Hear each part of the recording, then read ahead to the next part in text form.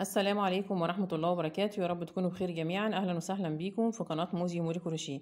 النهاردة إن شاء الله في الفيديو بتاع النهاردة هنعمل مع بعض حاجة سهلة جدا بالنسبة للناس المبتدئين وهو بوك للفكة أو للفلوس زي ما إحنا شايفين كده على شكل دايرة. أهو. سهل جدا. بيتعلق في المفاتيح أو في الميدالية. هنشتغل بغرزة الحشو زي ما نشوف مع بعض وغرزة المنزلقة. يلا بينا على طول نجيب الخيط ونشوف هنعمله إزاي. أنا هشتغل البوك يا جماعة بخيط صوف مصري اسمه أكرو الشله بتاعته خمسين جرام. الخيط ده فيه أنواع كويسة منه جدا أنا بحب أشتغل بيه على طول زي ما أنتوا عارفين. هشتغل على فتلتين عشان يبقى البوك ماسك نفسه شوية معايا تمام؟ وهشتغله بابره رقم أربعة ألومنيوم. أنت طبعا تقدري تشتغليه بأي خيط أنت عايزاه مع الإبرة المناسبة ليه. هبدأ أسحب الخيط من بره الشله ومن جوه الشله عشان أشتغله مجوز. بسحب كده الفتلتين مع بعض اللي جوه واللي بره. هبدأ أعمل دايرة سحرية زي ما إحنا عارفين. بدخل الإبرة كده في الدايرة بسحب الخيط وبعمل غرزة سلسلة عشان أمسك الدايرة وعشان كمان ارتفاع غرزة الحشو اللي أنا هشتغلها في الدايرة. وبسلك الطرف القصير ده عشان أقدر أتحكم في الدايرة أوسع أو أضيق زي ما أنا عايزة. هبدأ أشتغل ست غرز حشو داخل الدايرة اللي أنا عملتها دي. غرزة الحشو بدخل في الدايرة بسحب خيط بقى معايا لفتين على الإبرة بسحب وأطلع من اللفتين مع بعض. بدخل في الدايرة بالإبرة بسحب خيط. بقى معايا لفتين على الإبرة بسحب الخيط وأطلع من اللفتين مع بعض. كده عملت غرزتين حشو. تلاتة أربعة خمسة ستة. ببدأ أسحب الخيط القصير ده وأقفل الدايرة بتاعتي خالص. عايزة بقى أقفل السطر الأول اللي أنا عملته ست غرز دول بوصل للغرزة الأخيرة من الغرزة الأولى. بدخل تحت الغرزة الأولى كده بالإبرة تحت حرف الفي وبسحب الخيط وبعدين بطلع من الحلقة اللي على الإبرة. يبقى أنا كده عملت أول سطر ست غرز حشو هبدأ ارتفع سلسلة ارتفاع غرزة الحشو وهعمل تزايد على كل الغرز يعني هعمل فوق كل غرزة غرزتين. بدخل كده في أول غرزة واحد اتنين في نفس الغرزة تاني غرزة واحد اتنين في نفس الغرزة. الغرزة التالتة واحد اتنين في نفس الغرزة والرابعة واحد اتنين والخامسة واحد اتنين والسادسة واحد اتنين. كده عملت اتناشر غرزة بقى السطر التاني عندي اتناشر غرزة حشو. عندي غرزة المنزلقة دي ما بدخلش فيها خالص بقفل السطر التاني بربط آخر غرزة مع أول غرزة بدخل تحت أول غرزة تحت حرف الفي كده بسحب خيط وبعدين بسحبه من الحلقة اللي معايا على الإبرة يبقى أنا كده أول سطر عندي ست غرز حشو والسطر التاني اتناشر غرزة حشو. ببدأ ارتفع سلسلة ارتفاع غرزة الحشو. أشتغل السطر التالت هعمل واحدة تزايد وواحدة من غير تزايد. بدخل في أول غرزة بعمل فيها غرزة واحدة بس والغرزة التانية بعمل فيها اتنين. واحد اتنين. في التالتة بعمل واحدة بس وفي الرابعة بعمل اتنين. واحد اتنين. في الخامسة بعمل واحدة بس وفي السادسة بعمل اتنين واحد اتنين. يعني أنا كده بزود في واحدة وأسيب واحدة. هكمل كده لحد آخر السطر التالت ونشوف عدد الغرز معانا كام. كده خلصت السطر التالت. زي ما اتفقنا زودت في واحدة واحدة لأ. وصلت للآخر هنا عندي غرزة المنزلقة بسيبها خالص ما بشتغلش فيها. وبقفل السطر بتاعي تحت. أول غرزة بدخل بالإبرة تحت حرف الفي بسحب خيط وبعدين بسحبه من الحلقة اللي على الإبرة. زودت ست مرات. يبقى عدد الغرز عندي 18 غرزة. برتفع سلسلة عشان غرزة الحشو وأبدأ السطر الرابع. بعمل أول واحدة فردي يعني واحدة بس وتاني واحدة فردي يعني واحدة بس والتالتة بعمل فيها زوجي يعني اتنين مع بعض في نفس الغرزة وبكرر كده بنفس الطريقة واحدة فردي وكمان واحدة فردي وبعدين التالتة بعملها زوجي يعني اتنين في نفس الغرزة واحد اتنين. هكرر كده لحد آخر السطر الرابع ونرجع مع بعض. كده أنا خلصت السطر الرابع عملت تزايد فيه ست مرات. بقى عدد الغرز عندي أربعة وعشرين غرزة بقفل السطر. تحت أول غرزة بدخل تحت حرف الفي بسحب خيط وبطلع من الغرزة اللي معايا على الإبرة. وطبعا منساش غرزة المنزلقة ما بدخلش فيها. ببدأ ارتفع سلسلة ارتفاع غرزة الحشو واحد اتنين تلاتة أربعة هبدأ السطر الخامس. بعمل واحدة فردي وكمان واحدة فردي. وكمان واحدة فردي يعني تلاتة فردي والرابعة بعملها زوجي يعني اتنين في نفس الغرزة واحد اتنين. وبكرر بنفس الطريقة واحد فردي اتنين فردي تلاتة فردي يعني كل واحدة عليها واحدة بس. والغرزة الرابعة بعمل فيها اتنين يعني زوجي أو تزايد. هو اختلاف مسميات بس. هكمل كده لحد آخر السطر وبعدين نرجع مع بعض. أنا كده خلصت السطر الخامس يا جماعة.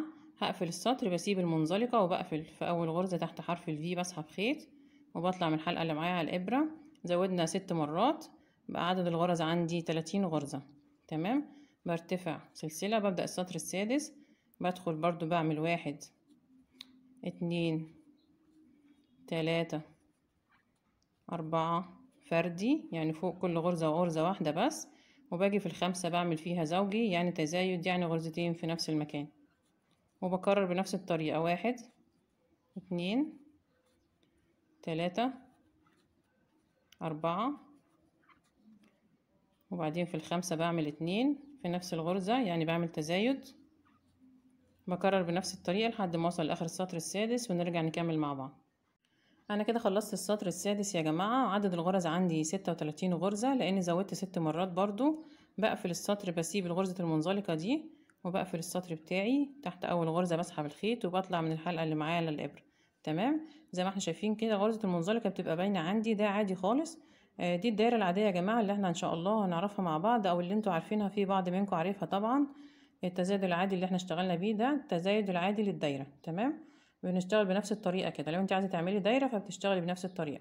إحنا طبعا بنشتغل الدايرة وهنعمل منها البوك اللي إحنا شفناه. أنا بعد كده السطر السابع برتفع سلسلة اللي هو ارتفاع غرزة الحشو وهشتغل في كل غرزة غرزة واحدة بس بس ما شدش ايدي في في الشغل عشان ما تقوسي معايا. أنا عايزة بس أداري الشكل السداسي اللي هو طالع معايا ده. عايزة الدايرة تكون مستديرة تمام؟ فببدأ أشتغل فوق كل غرزة غرزة واحدة. الخيط بس فك مني. هشتغل فوق كل غرزة غرزة واحدة. هيبقى عدد السطر السابع عندي نفس عدد السطر السادس بالظبط. هشتغل كده زي ما إحنا شايفين فوق كل غرزة غرزة واحدة ونرجع نكمل مع بعض. أنا كده خلصت السطر السابع هشوف بس المقاس بتاعي إيه. عشرة سنتي بالظبط ده المقاس اللي أنا عايزاه. كده خلاص هوقف الدايرة وهبدأ أعمل الجناب بتاعة البوك. هشتغل الأول هقفل الأول السطر بمنزلقة تحت أول غرزة تحت حرف الفي بسحب الخيط وبطلع كده من الحلقة اللي على الإبرة. وبعدين برتفع سلسلة ارتفاع غرزة الحشو وببدأ أشتغل في الحلقة الخلفية للسلسلة أو لغرزة الحشو. عندي السلسلة اللي باينة قدامنا وحرف الفي ده حلقة أمامية لقدامي والخلفية اللي ورا دي. هبدأ أدخل على طول في الحلقة الخلفية وهشتغل غرز حشو زي ما إحنا شايفين. أدي أول غرزة تاني غرزة بدخل كده في الحلقة اللي ورا وبشتغل غرز حشو على كل غرزة غرزة من غير أي تزايد أو تناقص. اهي. شايفين الحلقة الأمامية اللي أنا سبتها؟ باينة اهي. بدخل كده. في نص حرف الفي باخد الخلفية أشتغل عليها غرزة حشو وبسيب الأمامية. بدخل كده في نص حرف الفي بشتغل على الخلفية غرزة حشو وبسيب الأمامية. أهو. تمام. هكمل كده لحد آخر السطر ونرجع مع بعض. أنا كده خلصت أول سطر من الجناب زي ما إحنا شايفين هقفل بمنزلقة برضو عادي خالص تحت أول غرزة. بدخل تحت حرف الفي كده وبسحب خيط وبطلع من الحلقة اللي على الإبرة. برتفع تاني سلسلة ارتفاع غرزة الحشو وببدأ أشتغل على كل غرزة غرزة بس مش في الحلقة الخلفية بشتغل تحت الحلقتين. تحت رأس الغرزة كلها غرزة حشو عادية زي ما عملنا الدايرة بالظبط. كل غرزة بعمل عليها غرزة واحدة كده زي ما إحنا شايفين كده. بدخل تحت رأس الغرزة كله تحت حرف الفي وبشتغل غرز حشو. هشتغل كده بنفس الطريقة لحد ما أخلص السطر. أنا كده خلصت يا جماعة السطر التاني من الجنب ومش هزود عن كده خلاص هقفل تحت أول غرزة بدخل تحت حرف الفي بسحب خيط وبطلع من الحلقة اللي على الإبرة كمان. تمام؟ هبدأ أبروز الجناب دي بمنزلقة. غرزة المنزلقة بدخل تحت حرف الفي كده بسحب خيط وبعدين بطلع من الحلقة اللي على الإبرة. بدخل تحت الغرزة كلها راس الغرزة بسحب خيط وأطلع من الحلقة اللي على الإبرة. دي اسمها غرزة منزلقة. اهي بكرر كده بدخل بسحب خيط بطلع من الحلقة اللي على الإبرة كمان بدخل بسحب خيط بقى معايا حلقتين أروح طالعة من الحلقة التانية طالعة بيها من الأولى. بسحب خيط بقى معايا حلقتين أطلع أخد الحلقة التانية أطلع بيها من الأولى. زي ما إحنا شايفين كده هستمر بنفس الطريقة لحد ما أوصل لآخر السطر. أنا كده خلصت يا جماعة بروزت ال- القطعة بمنزلقة زي ما إحنا شايفين بقى ده شكلها تمام. هبدأ أقص الخيط بتاعي. بقص كده. وأنا هنضف الخيط ده إن شاء الله بعد كده بالإبرة التنظيف بسحب الخيط. وبعدين بفوت غرزة. وبدخل تحت أول غرزة منزلقة هنا أنا عملتها. بالإبرة. هي بس ضيقة معايا شوية. بدخل تحت أول غرزة منزلقة وبسحب الخيط ده اللي أنا سحبته اللي أنا قصيته بدخله جوه كده. تمام وبعدين برجع أسحبه تاني من الغرزة اللي أنا سحبته منها في الآخر. بدخل كده في نص حرف الفي وبسحب الخيط كده بدخله جوه ال- القطعة عشان يبقى شكل الشغل عندي كله زي بعضه زي ما إحنا شايفين كده. تمام هبدأ أنضف الخيط ده بإبرة التنظيف وهعمل كمان جزء زي ده بالظبط الجزء التاني بتاع البوك وأرجع معاكم نشوف هنخيطهم مع بعض إزاي. أنا كده يا جماعة نضفت الخيط بتاع الجزء اللي أنا عملته معاكم زي ما إحنا شايفين كده بإبرة التنظيف وعملت كمان جزء قده بالظبط بنفس الطريقة ونفس عدد الغرز وبنفس المقاس زي ما إحنا شايفين كده بس قصيت الخيط طويل شوية عشان أخيط بيه الجنبين مع بعض ولضمت هنا إبرة التنظيف في الخيط بتاع البداية عشان نشوف مع بعض إزاي هندريه تحت الشغل. بدخل كده تحت غرز الحشو وبداري الخيط ده بتاع عقدة البداية. عشان انضف البوك من جوه. بفضل اداري فيه كده لحد ما اخلصه. بدخل كده تحت الغرز اهو. هخلص كده وبعدين نرجع نشوف هنخيط إزاي. أنا كده خلصت تنظيف خلاص الخيط بتاع البداية وعندي عدد الغرز في الجزئين مع قد بعض بالظبط. بحط كده الجزئين على بعض زي ما إحنا شايفين كده. هطلع بس الخيط ده الأول بره عشان هخيط من بره. كده. تمام. وبجيب هنا القفلة بتاعة الشغل قصاد القفلة بتاعة الشغل هنا في الجزء التاني. كده زي ما إحنا شايفين وبدخل كده تحت السلسلة دي بتاعة المنزلقة في الجزء ده وفي الجزء اللي قصاده. شايفين؟ داخلة تحت حرف الفي هنا وحرف الفي هنا. بسحب الخيط بتاعي. وبرجع تاني تحت الغرزتين اللي بعديهم. غرزة المنزلقة دي تحت حرف ال V والمنزلقة اللي قصادها تحت حرف ال V برضو. وبسحب الخيط. واستمر بنفس الطريقة لحد ما أخيط الجزء اللي أنا عايزة أخيطه وهسيب مكان للسوستة اللي أنا هركبها.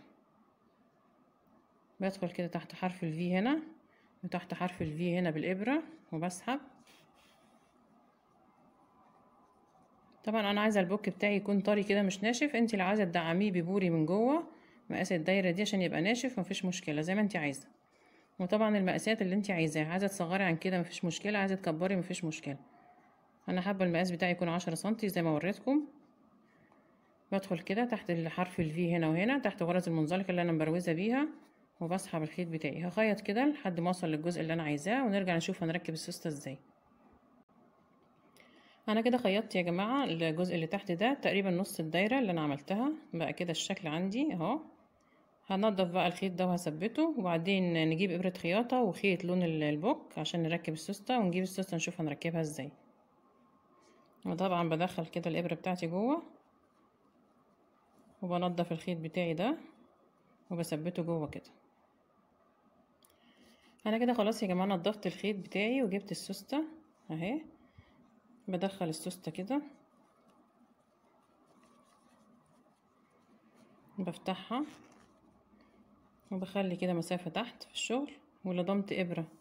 إبرة خياطه عادية خالص بنفس لون الخيط بتاع البوك. زي ما إحنا شايفين كده. ببدأ أدخل الإبرة كده من جوه.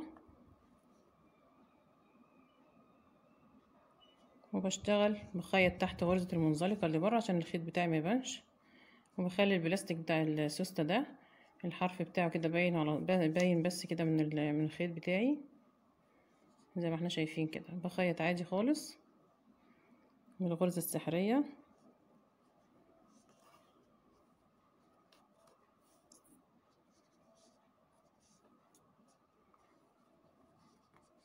هسلك بس الخيط.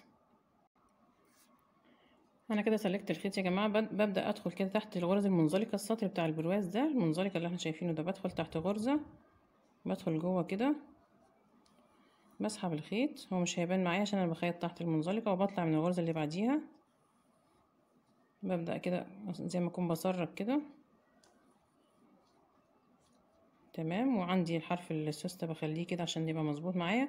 ومشدش إيدي في الخياطة عشان السوستة متلمش معايا. تمام هستمر كده لحد ما اوصل للاخر. أنا كده خيطت السوسته يا جماعة في الجنب ده اللي على اليمين لحد ما وصلت للاخر هنا. بجيب برضو كده بثبت السوسته كويس. بدخل كده بثبت من هنا. هقفلها بس شوية. ببين القفل بتاعي كده شوية. بثبت هنا السوستة من المكان اللي ورا ده. وبعدين بفتحها تاني. بخلي الجرار بتاعها كده وببدأ أرجع بالجنب التاني بنفس الطريقة تحت غرزة المنزلقة. بالغرزة السحرية أو بالغرزة بتاعة السراجة. وما شدش إيدي في الخياطة عشان السوستة تبقى مرتاحة متبقاش مشدودة. بنفس الطريقة كده. هستمر بنفس الطريقة لحد ما اخلص تركيب السوستة ونرجع نشوف الشكل النهائي. ده يا جماعة الشكل النهائي للبوك بعد ما خلصناه وقفلناه. شكله جميل جدا يا رب يكون عجبكم. وإن شاء الله سهل وبسيط تقدروا تعمليه بسهولة. ده الجزء اللي إحنا قفلناه تحت. ودي السوستة بعد ما ركبناها والحلقة اللي هنحط فيها المفاتيح. طبعا أنت لو عايزة تسيبيه سادة كده شكله جميل جدا مفيش مشكلة. لو عايزة تضيفي له أي حاجة تانية بتزينيه بيها زي خرز مثلا. أو ممكن تحطي له وردات كروشيه مجسمة من نفس لون البوك أو لألوان مختلفة حسب ما انت عايزة. في وردات كده وردة مجسمة. تحطي واحدة هنا واحدة في الجنب التاني وفي وردة كده كمان. تمام؟ إن شاء الله هحط لكم اللينكات بتاعة الورد في صندوق الوصف تحت الفيديو بتاع البوك عشان لو حبيتي تعملي وردة تزيني بيها. وطبعا المقاسات حسب ما انت عايزة. لو عايزة تصغري عن كده عن عشرة سنتي مفيش مشكلة. بتشتغلي لحد عدد من السطور اللي إحنا اشتغلناها. ممكن لحد السطر الخامس أو السادس. وبتوقفي وبتقفلي بنفس الطريقة اللي إحنا قفلنا بيها. ولو عايزة تزودي عن كده برضو مفيش مشكلة. بتستمري في التزايد بنفس الطريقة اللي إحنا شفناها في الفيديو الطريقة العادية للتزايد في الدايرة بغرزة الحشو. أنا عملت السطر السابع من غير تزايد عشان بس أظبط شكل الدايرة معايا اللي هو آخر سطر. انت لو هتزودي المقاس عن كده بتزودي في السطر السابع بتعملي خمسة فردي وبعدين السادسة بتعملي فيها غرزتين مع بعض يعني تزايد. والسطر الثامن بتعملي ستة فردي والسبعة بتعملي فيها تزايد يعني غرزتين مع بعض. وتستمري هكذا بنفس الطريقة لحد ما توصلي للمقاس اللي انت عايزاه. آه زي ما قلت لكم كل سطر بيزيد عن اللي قبليه ست غرز والست غرز دولت مرتبطين بالعدد الغرز اللي إحنا بدأنا بيهم. يعني انت لو بدأتي بخمس غرز يبقى التزايد عندك في كل سطر عن اللي قبليه هيبقى خمس غرز. بدأنا بستة يبقى التزايد هيبقى ستة. أتمنى يا رب تكونوا استفدتوا من الفيديو ويكون الفيديو عجبكم. ولو عجبكم الفيديو ما تنسوش تعملوا share و like وتشتركوا في القناة وتفعلوا الجرس عشان تتابعوني. وعشان يوصلكم كل فيديو جديد أنا بعمله. وشكرا ليكم والسلام عليكم ورحمة الله وبركاته.